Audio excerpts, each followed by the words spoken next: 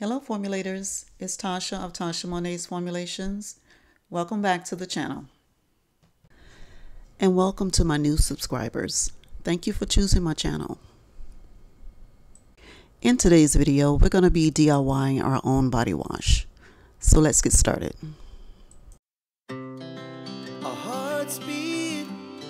To the city streets. We to feel the fire.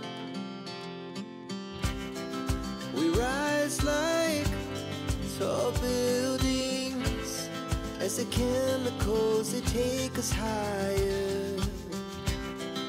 The night's young and it's just begun as she puts her hand